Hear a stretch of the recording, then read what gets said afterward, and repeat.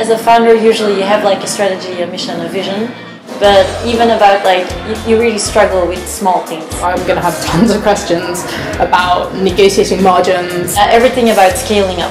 How to deal with export markets. What price point should we be looking at? The markup we should give our products? To have an event which gives you access to tools in so many different areas from PR to marketing to getting your margins right it will be absolutely incredible.